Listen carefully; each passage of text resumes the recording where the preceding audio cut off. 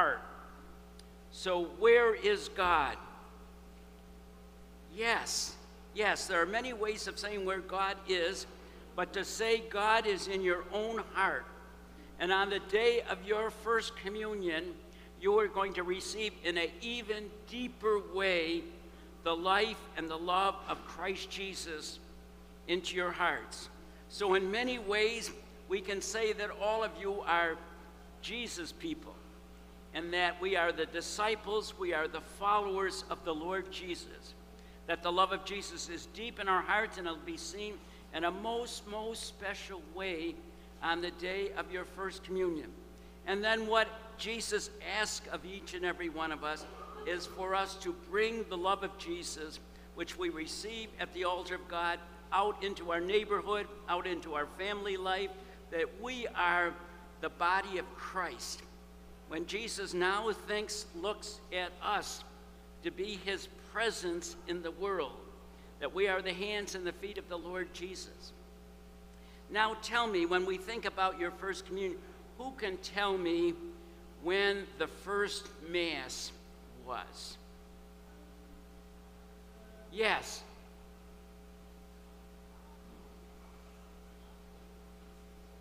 Who can tell me? Maybe that's a different. Yes. When Jesus died, Jesus died on Good Friday.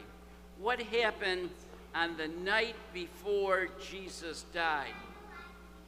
They had the last meal, the Last Supper, which took place on the night before Jesus died, because Jesus wanted us to know that He's going to be with us all days until the end of time. So He's going to be with us in a new way in the sacrament of, of the Eucharist. What were you, were you going to say? Okay, very good. So when Jesus, at the Last Supper on the night before he died, he took bread into his hands. Who can tell me what Jesus said when he had the bread in his hands? Yes. Yes, very, very good. He said to take and eat, that this is my body. Very, very good. And then Jesus took a cup. What do we call the cup which we place? Yes. Excellent. Yes, that cup is a chalice. So that Jesus had the chalice in his hands and it was filled with wine. What did Jesus say? Yes. Very, very good. Yes, Jesus said, Take and to drink. This is my blood. And then what was the next thing that Jesus said? after he said at the Last Supper on the night before he died. Yes. Yes, very, very good. He said, Do this in memory of me. So if anyone asks you, Why do you come to Mass Sunday after Sunday after Sunday after Sunday? It is because we are doing what Jesus asked us to do on the night before he died when he said, Do this as you said, in memory of, of me. And the prayers that the priest says during the Eucharistic prayer, when that bread and wine becomes the body and blood of the Lord Jesus, he is saying the words that Jesus said at the Last Supper. That is the special grace that is given to a priest on the day of his ordination to be able to use the power that Jesus had in changing bread and wine into his body and blood. So that during the Eucharistic prayer, I will say, over the bread that this is my body, and over the, the chalice that is filled with wine, this is my blood. And then to take and eat, to take and drink, and then do this in memory of me. and that anticip- now the, the communion, the Mass, is a sacrament. Let's hear everyone say sacrament. Sacrament. Sacraments are the special ways that we encounter, that we come to know the Lord Jesus most deeply in our lives. Who can tell me, of all you brilliant people, how many sacraments there are? Gold star, if you can tell me yes. Yes. Seven. You are absolutely right. There are seven sacraments, and they are the special ways that we encounter the Lord Jesus in our lives. Now, my question to you how many sacraments have you already received? Yes. Two. What would they be? What would they be? Yes.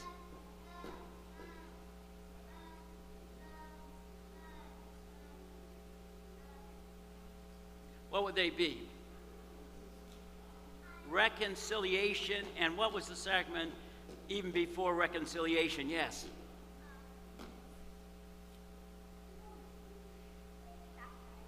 Baptize, baptism.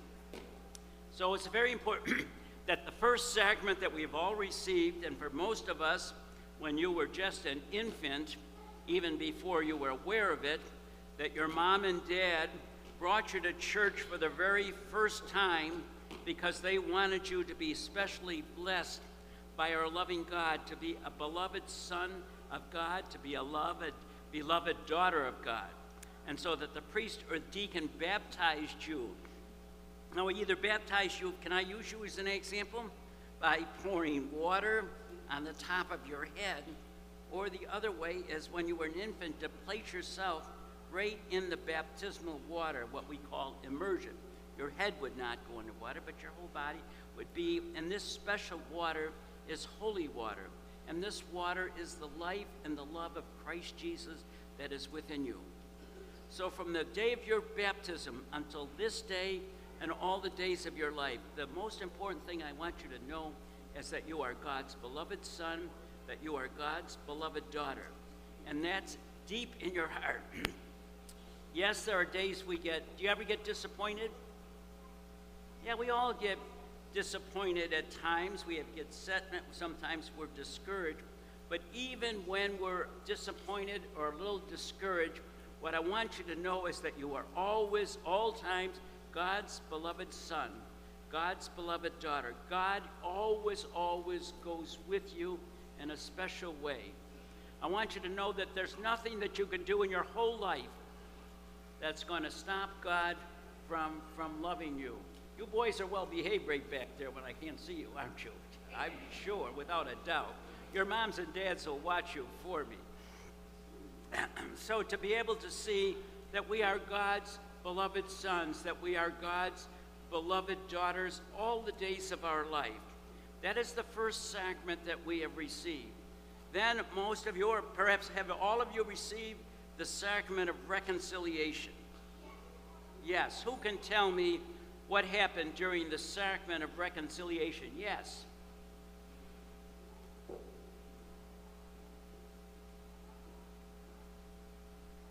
Pardon me? Yes, it is confession. Yes.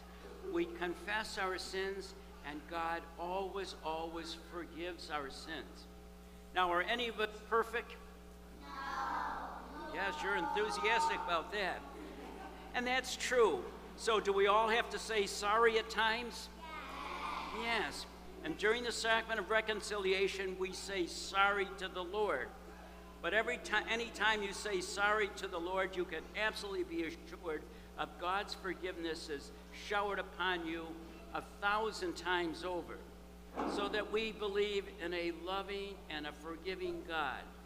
I want you to know about that is who God is, that we can know that all the days of our life.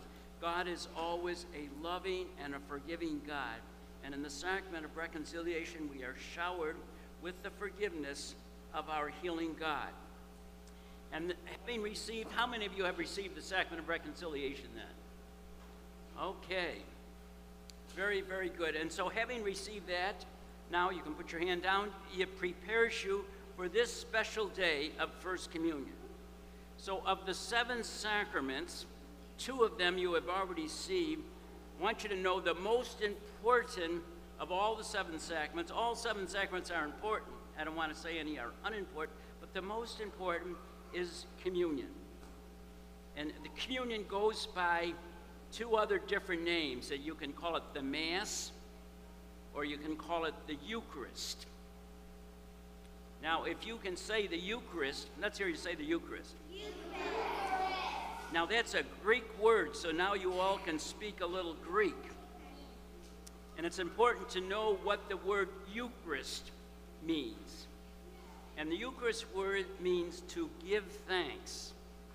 So when we come to pray at Mass, we gather to give thanks to the Lord our God for the many, many blessings of our lives. And how many different ways have your life been blessed? Who can tell me the blessings that you have received? Yes. Two. Which, what are the two blessings?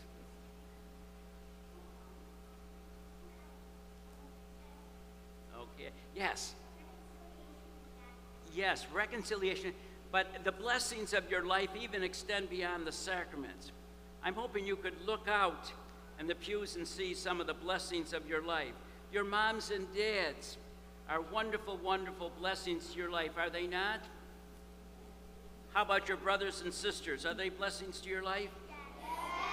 Most of the time or all the time? Uh, no. That, that meant to be a throwaway statement. I hope you love your brothers and sisters. To thank God for the home that you live in. Thank God for clothes that you wear. Thank God for the beauty of sunshine for you each and every day to see your life is filled with blessing. What the way that I would like all of you to live your life is with an attitude of gratitude. Who can tell me what it means if you live your life with an attitude of gratitude? Yes. That you're grateful, that you say thank you many, many times during the day. And the most special way, yes, you have a question. Oh, you don't have a brother. Okay, thank you. But you have two sisters. So you are blessed with two sisters. That's a wonderful, wonderful. They're sometimes crazy. No need to give us too much information. But, but anyway, to be able to see that your life is a blessing, even though we are sad at times, we all discouraged, may you also be have a big smile on your face often throughout the day and to be able to say thank you that your life is, is a blessing and that you are especially blessed by our loving God too. And the best way that we say thank you to God is when we come to Mass and, and the meaning of the Mass and the prayers that we say is to give thanks to the Lord our God. Let me see, during the preface of the Mass, let's see how, your, how good your memory is. I say, The Lord be with you. And what do you say? Lift up your hearts. Very, very good. Let us give thanks to the Lord our God. Very, very, very good. So we say, let us give thanks to the Lord. That theme of thanksgiving runs throughout the Mass. And then when you receive communion, when I say the body of Christ, what are you going to tell me? What do you respond? Everyone together tell me. Amen. amen. And by saying amen, you are saying, I believe in the Lord Jesus. I give thanks to the Lord Jesus for the many blessings of my life. I give thanks to the Lord for receiving the first communion deep into my heart and to my spirit. So, just to kind of summarize, when did we say that the first Mass was celebrated? Yes, at the Last Supper on the night before Jesus died, because he, because he knew he was going to die on the cross on Good Friday, he wanted to assure his followers all days until the end of time that he would be continued to be present to us. And Jesus is present to us sacramentally. And the, how many sacraments have we received? How many sacraments are there? That's the first question. Yes. Seven. How many sacraments have we already received? Yes. Two. And the third sacrament we are going to receive is First Communion. Now, you can tell me when your moms and dads got married, they received a another sacrament, the sacrament of marriage. When I became a priest, I received the sacrament which we call holy orders. When a person is very sick, when we pray that they will receive the healing grace of the Lord, they receive the sacrament of the anointing of the sick. And then when you're in the ninth grade, you will receive the sacrament of confirmation, by which you will be spirit filled, and that the love of the Lord will be with you even, even more deeply. So, but just to concentrate first of those seven sacraments, the first three, two of them you've already received, and then the third one you will receive on the day of your first communion. Now, tell me, do any of you have any questions for me as you prepare for this beautiful, beautiful day of your first Yes. How did Jesus know he was going to die? Because it was the plan of God our Father, Jesus' Father, God our Heavenly Father. The God's plan was for Jesus to die for love of us so that our sins can be forgiven. So it's important to understand, and even though it may be hard to, that Jesus willingly died because he wanted to show how much he loved us. He loved us so much that he would give his whole life for us so that our sins would be forgiven and that we would share in the Lord's risen life. Does that make sense? Excellent. Yes. Was Jesus' dad Joseph God? No. Joseph was the foster father of Jesus. He was a very special person. He was a saint. Our parish is named after St. Joseph, but he was not God. There's only one God, and actually, what can be a little confusing is that God has three persons, but there's just one God. There's God the Father. God the Father created the whole world out, out, out of love for us. And then there's God the Son, Jesus, who became one of us and lived and died for us. And the third person in God is the Holy Spirit. And the Spirit of Jesus you will receive on the day you received on the day of your baptism and on the day of your first communion and all the days of your life. So there is only one God. It's God the Father, God the Son, God the Holy Spirit. Make sense? Very, very good. You understand well the mystery of our faith then. Yes. Yes.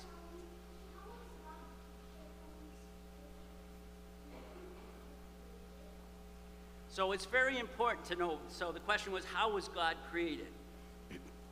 Again, in mystery, God wasn't created, God always was, God always will be.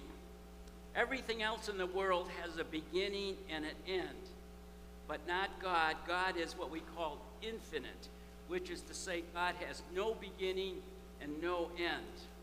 And so that God always, always was. Now you can say, well, that's hard to understand. Mysteries are hard to understand, but that is one of the deepest truths of our faith. Yes.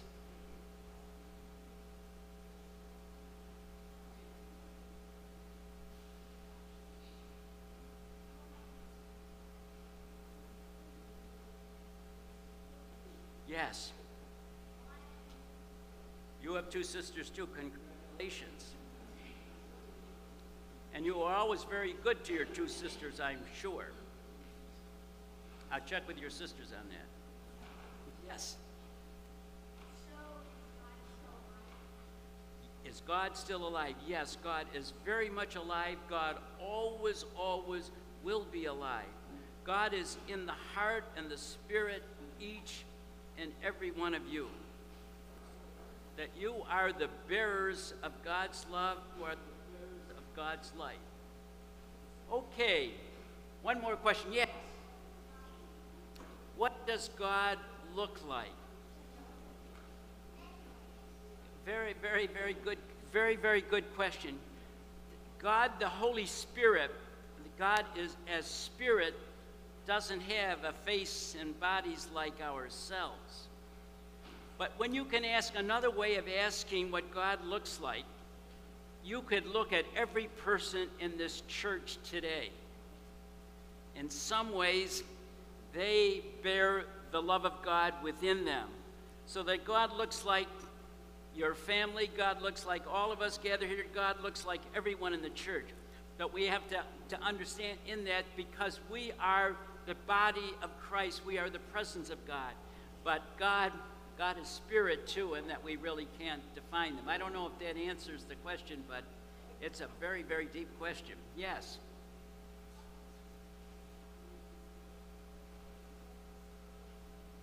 Even if you stole something from the store, would God still love you?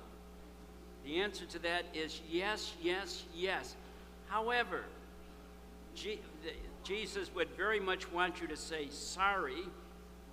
And if you have a chance to return that in some way, I think you should. Yes, Jesus would want you to. But I want you to know that there's nothing you can do that's going to stop God from loving you. But it's also important, Jesus wants us to be good and kind and loving and honest. Jesus doesn't want us to take things that doesn't belong to us. And Jesus, when we make mistakes or when we commit sin, Jesus wants us to say sorry because none of us are perfect. Okay, you can go back to your pews now with your moms and dads.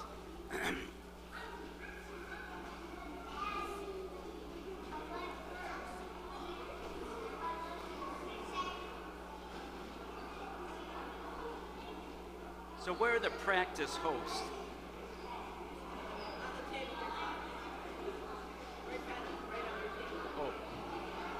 Gotcha.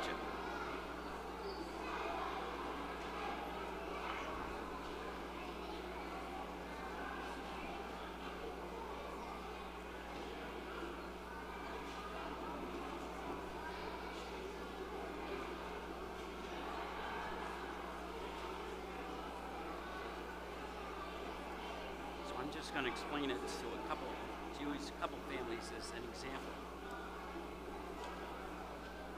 Okay, boys and girls, we're back on our very best behavior when we are in church.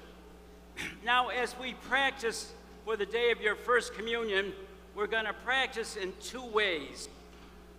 One way, I want to give you a couple of examples of when you come up for your first communion your family is most welcome to kind of make a semicircle around you so that they can be very present uh, to you on the day of your first communion. And so we're going to do that now with every just a couple of families to give you an example, and then we're going to give everyone an opportunity to receive communion.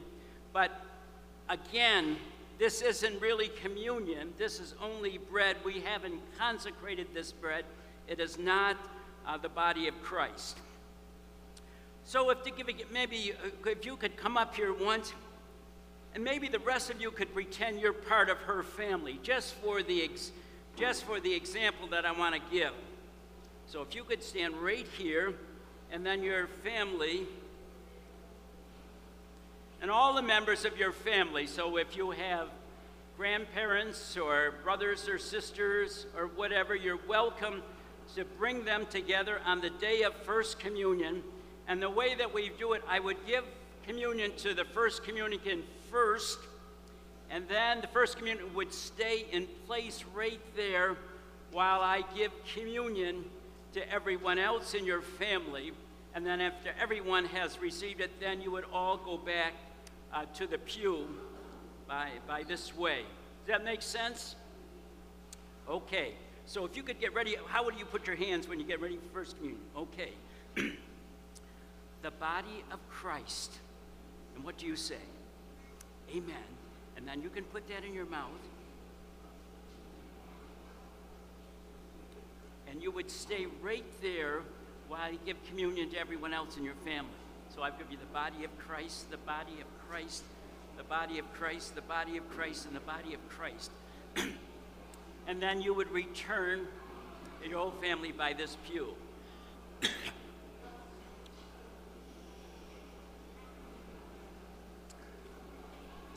so did everyone see that and kind of get the swing of that? You know, it's, it's, you don't have to be a genius, that, but just the special person receiving would be the first communicant but it's also special for mom and dad, for grandparents or siblings or whoever you have with you. They would be most welcome to surround them there. and those members of the family would receive after the first communicant, and the first communicant would kind of stay in place until everyone in the family has received communion. If someone in your family that comes up doesn't wish to receive communion for any reason, they'd be welcome just to put their hands on their shoulders and I would give them a blessing. But that would just be a, a way for me of knowing that they prefer not to receive communion, but all are welcome uh, to receive communion on this most special day. Any questions that parents have for me on this very special day? I guess my most important input to, to moms and dads, and to, there's details around that which staff will go over. But more important than any detail is to really to be aware of the great mystery, to be aware of the great prayer, of the great celebration, to, for us to be focused on this day of, of First Communion. There will be opportunity for taking photographs. I would be glad after Mass to stand up here, and I'd love to have photograph taken with your first communicant, with the first communicant's family. But I would ask during First Communion itself, it's not an opportunity, not a time to be taking the photographs. I really want us to be focused not on performing, but on receiving the body and blood of the Lord Jesus. Now, during these COVID days, we are only receiving the presence of Christ in the form of, of the body of Christ. I long for the day when we will be receiving the blood of Christ uh, again, but our bishop has, to, to this point, really kind of put a, a pause on that until we get in a healthier place. But to be assured, when you receive the bread, you are receiving the body and blood of Christ, soul and divinity. There's nothing halfway about receiving communion when you just receive the body of Christ. Be assured that you are receiving the whole presence of the Lord Jesus. Questions, mysteries, problems? Very, very good. So we just want to go through it and practice. Maybe you can get the. And Jean, you can help too.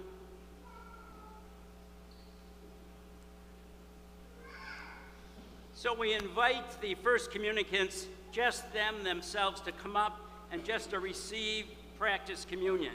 Now, when you receive communion, just, just wait one second. Okay, all eyes on me still. When you receive communion, I want you to do it. You'll have your hands out and I want you to be looking at me when you receive your communion. When I say the body of Christ, I want you to respond enthusiastically, Amen.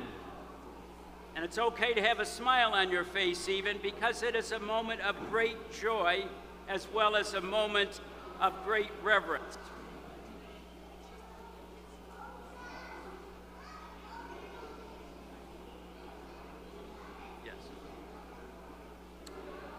Okay, boys and girls, your undivided attention again. Let's see how quiet everyone can be.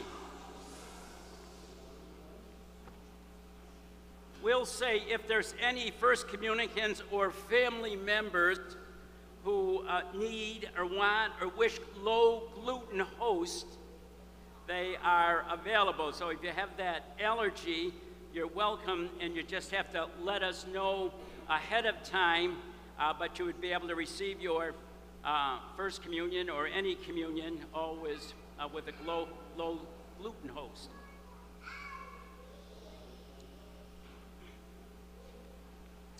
Okay, we invite the communicants to come up now to receive and put your hands out.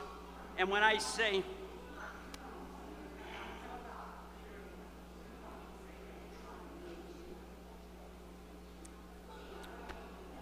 Okay, the body of Christ. What do you say? Okay. Excellent. Excellent. The body of Christ. You stay right here and then put it in your mouth. Perfect. The body of Christ. What do you say? Very, very good. The body of Christ. The body of Christ. The body of Christ. Very good. The body of Christ. The body of Christ. I say that. Body of Christ. Before you go, you, you put it in your mouth. Perfect. The body of Christ. Nope. Put it in your mouth there, and then you go, okay. Boys and girls, before you move, you need to put the communion host in your mouth and eat it, and then you then you leave. The body of Christ. There you go. The body of Christ. The body of Christ. The body of Christ. The body of Christ. The body of Christ. The body of Christ. What do you say? The body of Christ. The body of Christ. The body of Christ. The body of Christ. What do you say? The body of Christ. You put it in your mouth first. You can use your hand. That's okay. Yes, that's fine. The body of Christ.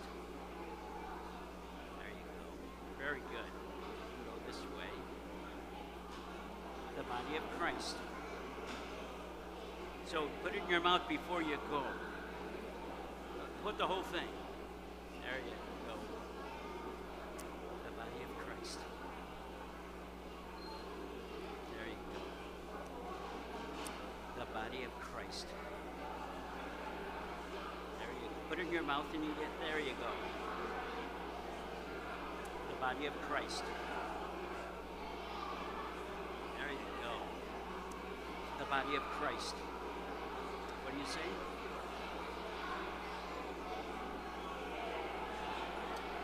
The body of Christ.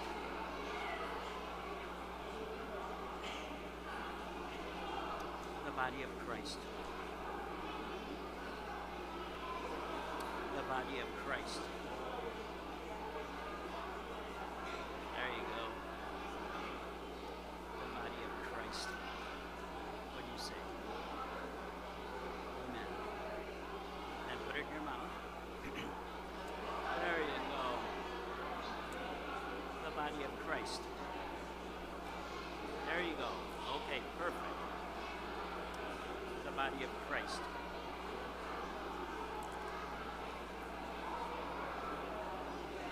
The body of Christ. The body of Christ. The body of Christ. There you go. The body of Christ. Now put it in your mouth. There you go. The body of Christ. Very good. Put it in your mouth now. Good, good, good. The body of Christ. Put it in your mouth now. There you go.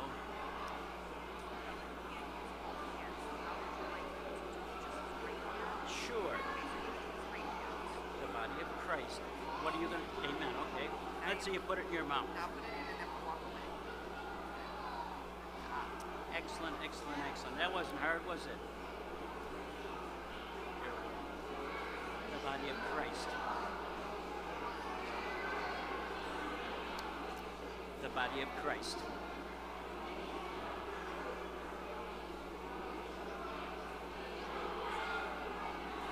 Now, is there? Am I doing the whole thing? Is that? Uh, you, you, don't have a need for anything else. I'm doing the whole thing, am I? Okay. Okay. If I can have your attention again.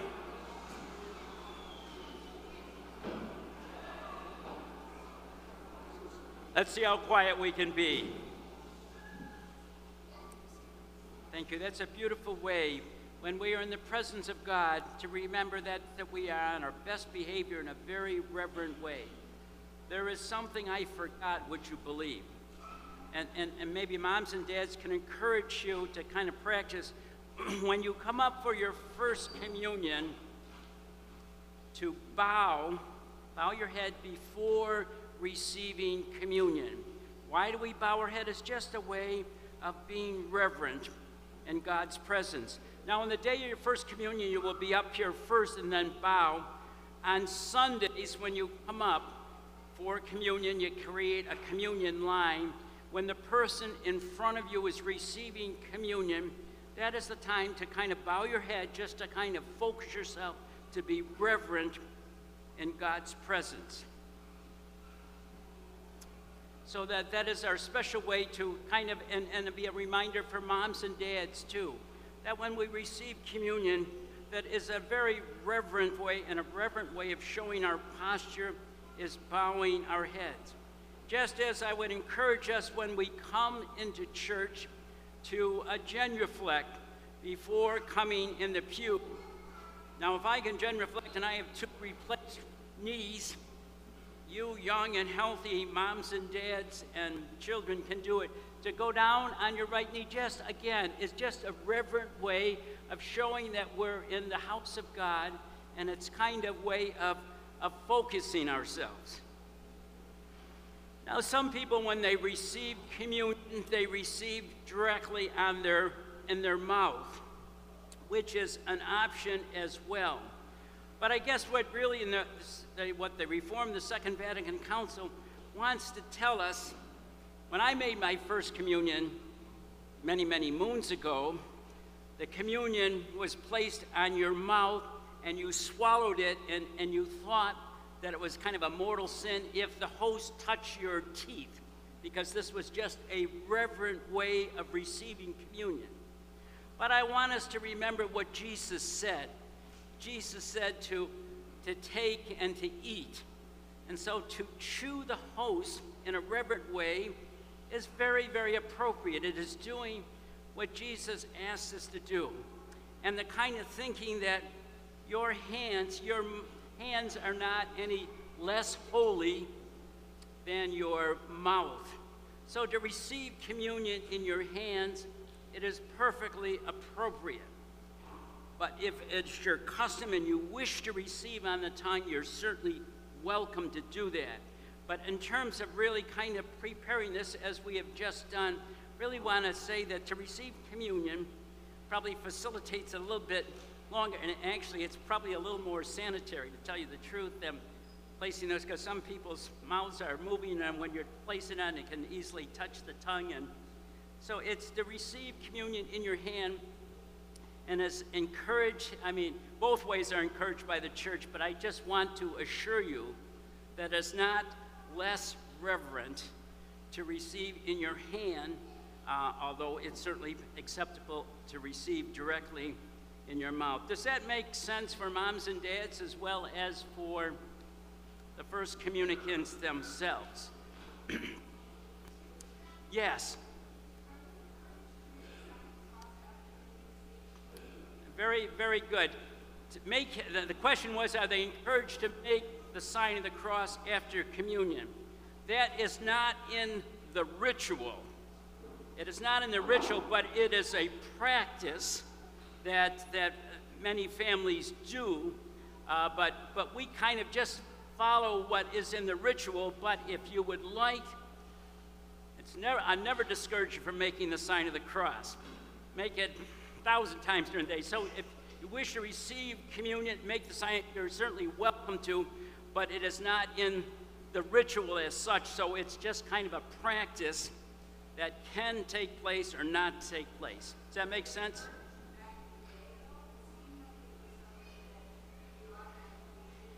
it did, it was encouraged in some parishes more than in other parishes to tell you the truth, because again, it wasn't in the ritual, it was just, but please, if anyone makes the sign of the cross, I am never discouraged by that. In fact, please God, we make the sign of the cross. And hopefully, when we come into church, we all bless ourselves with the holy water.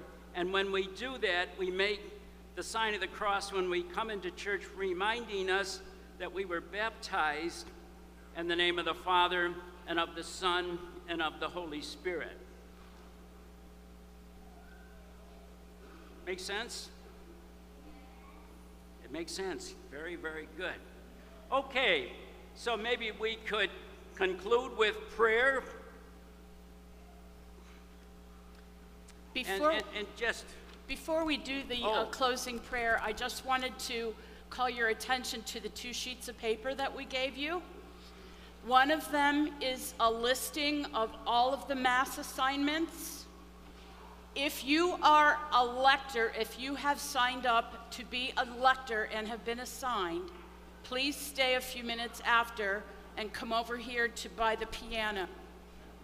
Gift bearers will be taught that morning of First Eucharist how to come down the aisle and bring up the gifts. And the last thing is, I'll be in touch with you about the last minute details. The other sheet that you have gives a very brief highlight of how the Mass goes.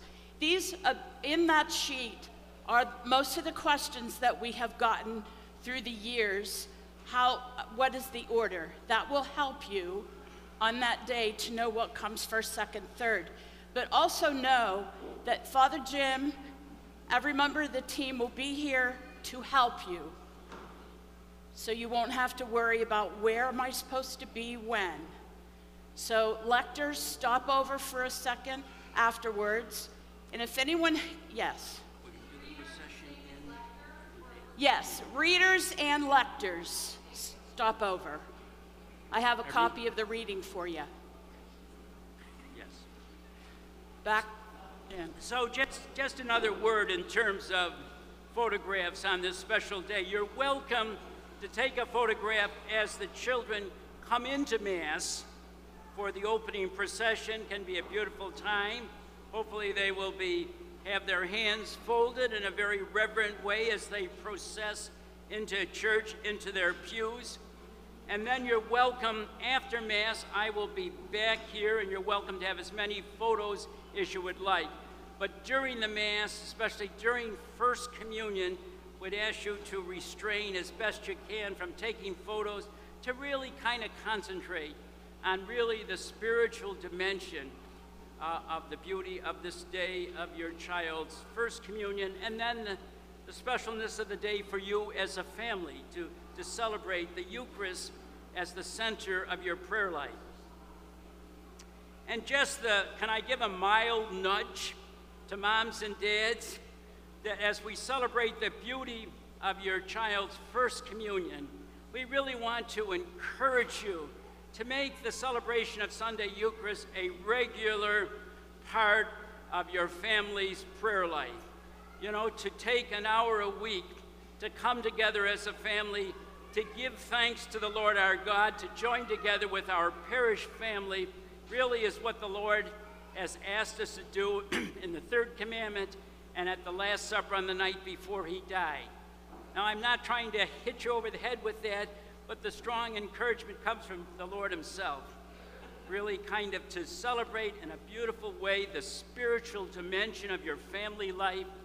And even if your children are restless at times, they're still most, most welcome at church each and every Sunday. So if that becomes a rhythm, a part of your family life, and it's motivated by the day of your first communion, you will be many times blessed. And I will assure you that you will never regret, you know, making that commitment of prayer as a family to come together to, to, to the Sunday Eucharist. So that's the strongest encouragement uh, that I can give you is to really kind of making, be motivated to, yes, we live busy lives, Yes, we have soccer practices to go to, lacrosse, baseball, football. I have grandnieces and grandnephews and understand that very, very well. But we still can make a priority that we have five opportunities on Sunday for Mass. So um, is to really make that a commitment. So just to conclude, in the name of the Father and of the Son and of the Holy Spirit. Blessed are you, O God of all creation. From the dawning of life, you have called each of us by name. From the waters of baptism, you set each one of us on the path to this day in our spiritual journey. In your generosity, you have brought us to this time when we are blessed to journey with our precious children as they come to share in the body and blood of your Son. Children, as a reminder of your baptism, we presented you with a bracelet. Do they have these bracelets? Medals or pins which will be blessed, and I will bless these bracelets. I already have blessed them one time, and I'm going to bless them again. If you could hold them up in your arm. And so may the blessings of Almighty God be with your bracelets, be with your rosaries, and more importantly, be with each and every one of you. In the name of the Father, and of the Son, and of the Holy Spirit, amen.